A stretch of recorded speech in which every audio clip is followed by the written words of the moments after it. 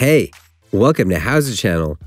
In today's tutorial, you will learn how to type circled numbers in Microsoft Word. Sometimes you may need to insert numbers or letters with circles in Word document, but you can't type them directly or copy them from internet every time. Open Microsoft Word or the Word file you need. Go to Insert tab at the top panel. Look for Symbols block at the right side of the panel. Click on Symbol and select More Symbols from the list. New window will open. Set font to Normal Text. Set subset to Enclosed Alphanumeric. You will see available symbols. Select the number in a circle you need. Click on Insert. You can insert as many numbers as you need.